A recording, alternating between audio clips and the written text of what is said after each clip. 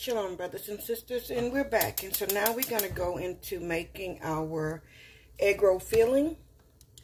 And I hope you can see what I'm doing. Let's see if we can. Okay.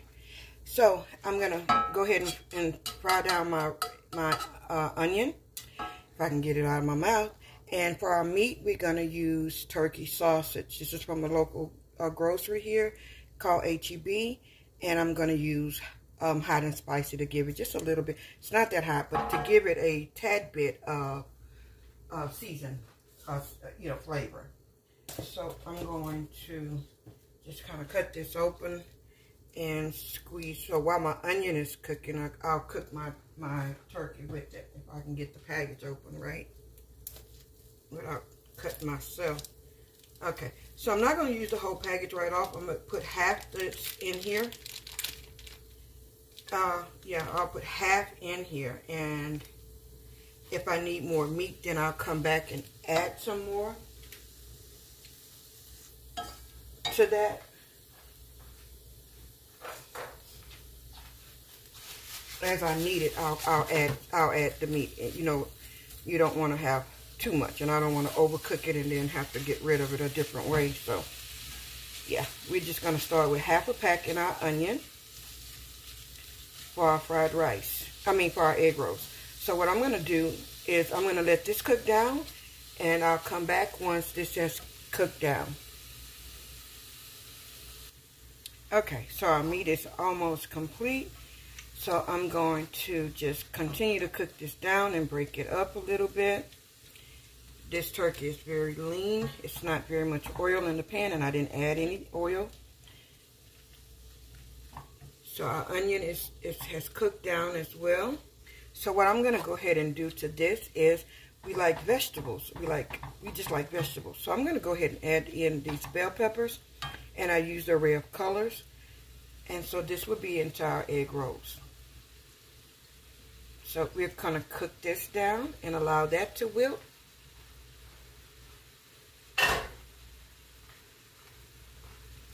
Okay, and once this wilts down, then we'll transfer this out of this into a bowl and begin to cook down our cabbage. And so I'm going to do that and then I'll be back. Okay, as you can see, our vegetables have completely, they haven't wilted as much as I would like, but the meat is definitely done. So I'm just going to, I just wanted to bring you back so you can see the process as I go through the steps. And I'll just let this cook down continue to cook down and get the vegetables good and tender. And I haven't added any seasoning to this just yet because I want that flavor of the turkey meat and the seasoning that it came with to go into this dish and be and almost stand alone, okay? And so, yeah. And once I get all of my vegetables where I want them, then I'll transfer it into this and we'll go ahead and cook down our cabbage. But while we're waiting on that to happen, when this when these vegetables get a little bit tender, I'm going to add in bean sprouts. I, we love, we absolutely here, uh, my grandbaby and I love bean sprouts. So when I'm cooking my version of Oriental food, it goes into all of the dishes. And so we're at the stage now where I think I'm ready to receive my bean sprouts. And so I'll just go ahead and add that in. You notice I add a little more to this than I did to my um, fried rice. But like I said, we absolutely love it. And they cook down, so it's just, it elevates the dish to me. Maybe not to anyone else, but for me it does. Alrighty, so yeah. We'll just get this all cooked in. Like so. And so now that you've seen this portion, when this cooked down a little bit more and I'm ready to transfer it I'll, and go to the next uh, phase of this, I'll come back and we'll chat a little bit more. I'll be back. Okay, so now we're going to transfer this into our um, to, into our bowl over here because this is done. So we don't want to overcook anything we want it just to stand on its own merit, okay? So I'm going to just go ahead and transfer this. And we'll go on to our cabbage.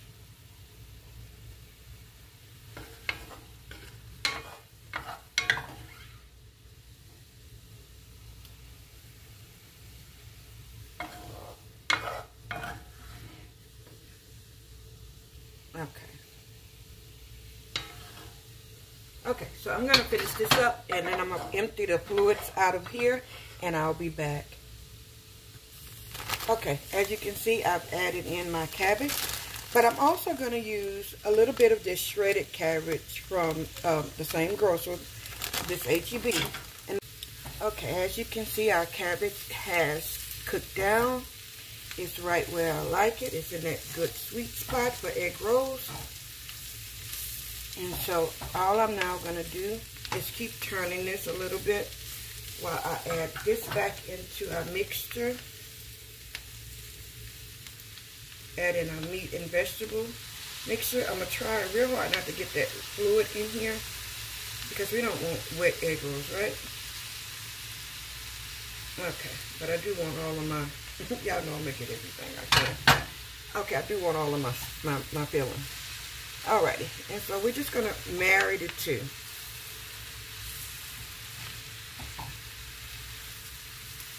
And as always, I always make too much.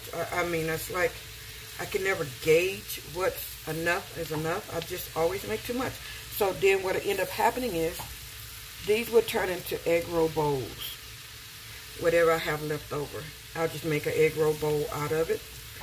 Put it up. Throw it in the freezer. And on, on the Sabbath, on Shabbat, I can pull it out. And this is something we can throw into the microwave, reheat it, and use. But until then, let's, uh-oh, I'm making a mess. Ooh. Okay. Until then, we're going to keep going with the egg rolls as, as planned for today, okay? And that's done. So I'm going to go ahead and turn my stove off because I don't want this to continue to cook.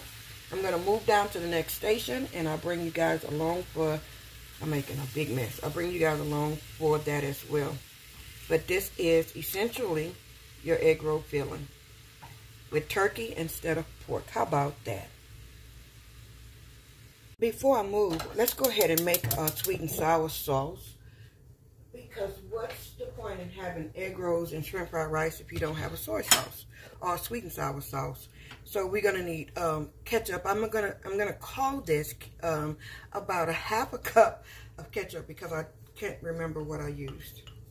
But we're gonna say about a half a cup of ketchup, okay? And to this, I'm to add in the same amount of apple cider vinegar, which is my own. I just saved a container that I had um, previously used. So it's, it's apple cider, but it is my own with the mother. And so to this, what I'm going to do is add now some sugar. And I'm going to call this sugar amount maybe uh, let's say two tablespoons, okay? We're going to call that two tablespoons. Y'all know I really don't measure when I cook. Um, if you don't know, now you know. But what I'm going to do, I'm making a mess as always. Um, what I'm going to do is let this cook down and then I'm going to stir in a slurry of cornstarch to thicken my sweet and sour sauce, okay? So while that's doing that, what I'm going to do is go ahead and get my sweet and sour mix, I mean my slurry of cornstarch mixed together. And I'm going to just use half, maybe half a teaspoon of cornstarch to water or vinegar ratio. I'm put a little bit of vinegar and a little bit of water to this and then mix that down to make my slurry. The slurry would thicken your sauce. So I'm just going to use filtered water from the refrigerator. This is from my Brita.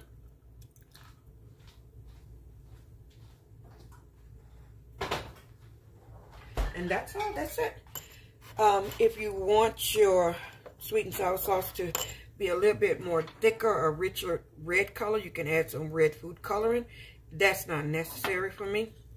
It's good enough the way that it is. I'm just going to bring this temperature up to get it to a, a good little boil. Not like rolling, but a nice simmer, okay? Not to mess up any further dishes, I just use the same dish for my slurry that I had my ketchup in. So it's going to pick up the leftover ketchup that's here on the side at the bottom or whatever. And then we'll pour in our slurry in just a bit. So now you want to put in a couple little sprinkles, just a tad bit of soy sauce. Um, I'm going to say about half a, a fourth of a teaspoon. Not very much at all, okay? And yeah, I did. I dripped it down the side of my bottle and made a mess. But what's a mess in the kitchen, okay? So we're just going to stir that soy sauce into this. Like so.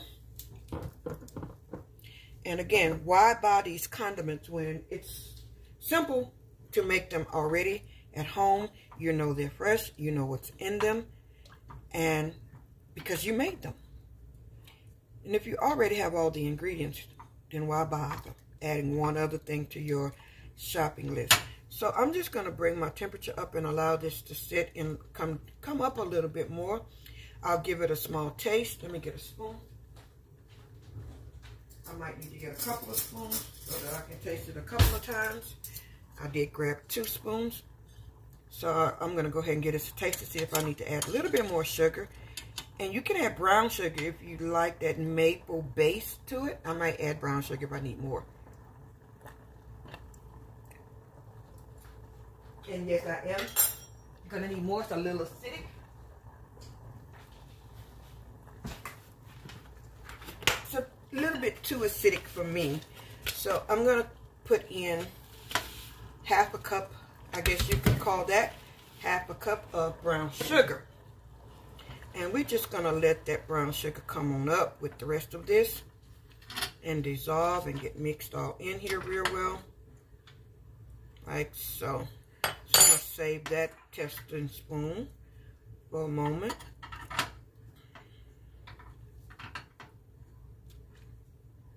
You know what? I'm going to taste this one more time before we go any further.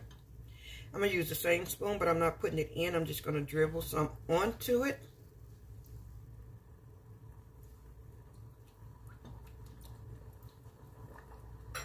to me, it's good, but it's still just a tad bit vinaigrette. So I'm going to add just a bit more.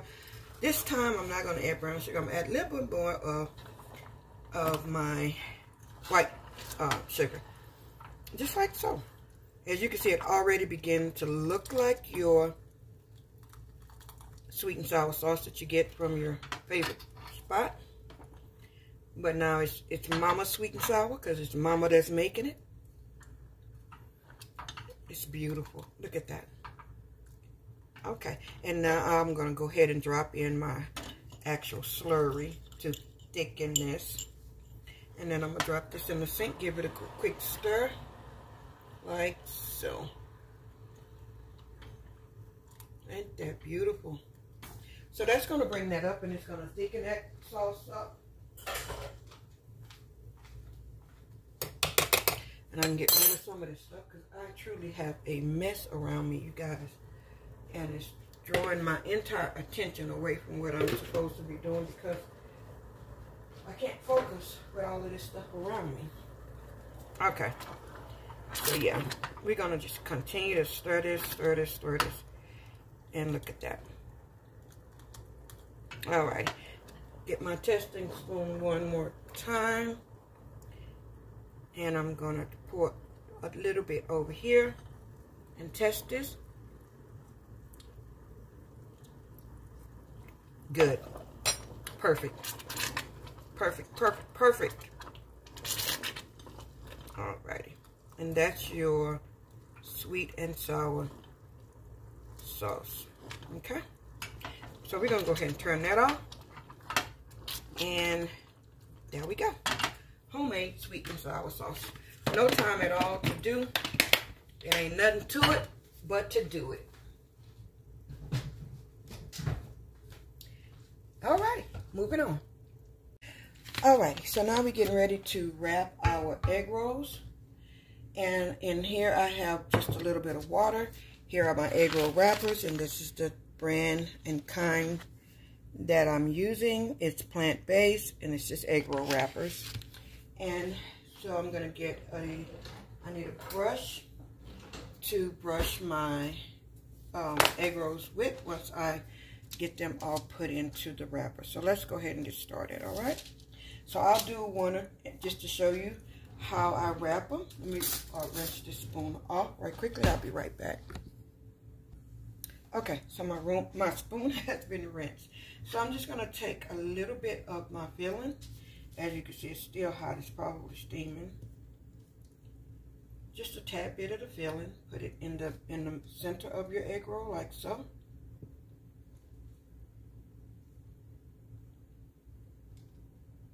Okay, and so you want to take and fold in your sides first, and then you're going to grab the end and pull it over the top, and then come back and, oops, I tore it, come back and pull down, and just begin to wrap.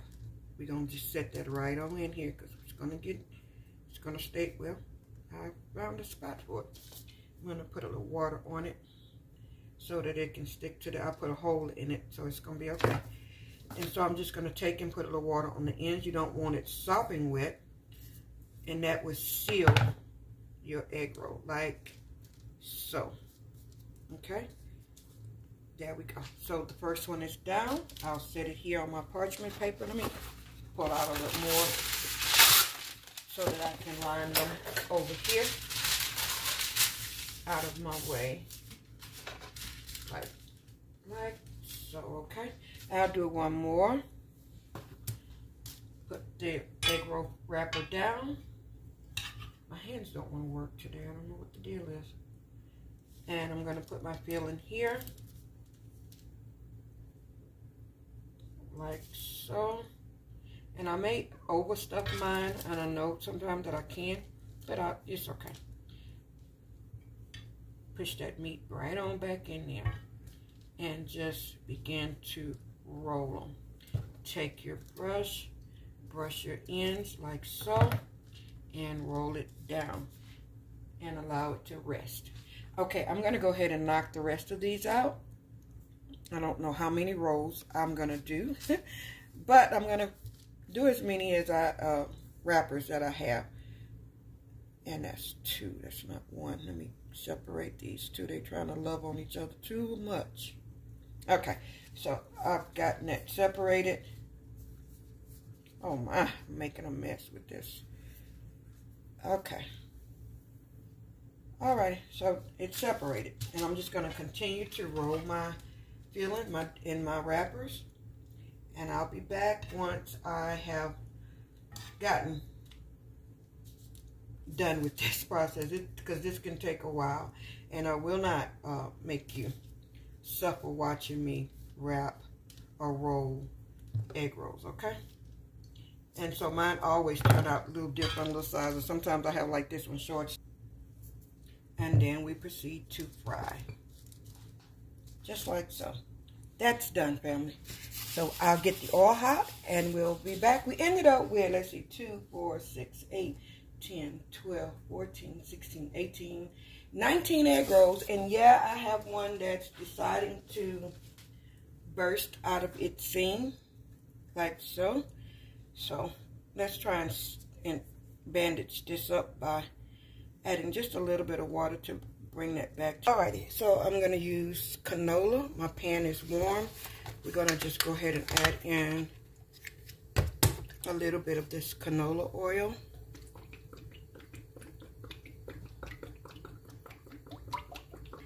So we don't want a lot because we're not like trying, we, we're deep frying these, but we don't need to drench them in oils, okay? So I put actually a lot more than I should. I'll show you. You can see in the pan how, where it is up on it. Yeah, that's hot. I burned my hand. So we'll let that get hot and once that's hot, I'll be back. Okay, as you can see, this side is done. So we're going to go ahead and turn them. We just want them lightly brown, lightly golden. And they are.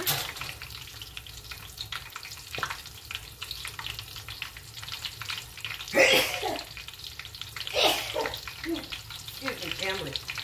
I had to walk away.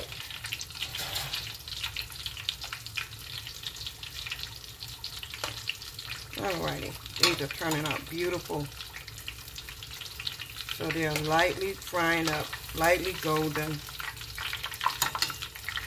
And I'll just stand here and turn them to make sure that they're brown on all sides and not just on one or two. So this is one of those dishes you, you kind of have to stand and babysit. You can't walk away from. So, when they get ready to come out, I'll be back. This is our dinner. Fried rice with chicken breast, egg rolls, and homemade sweet and sour sauce. And here is our finished product, our egg rolls for tonight's dinner. So, shalom, family.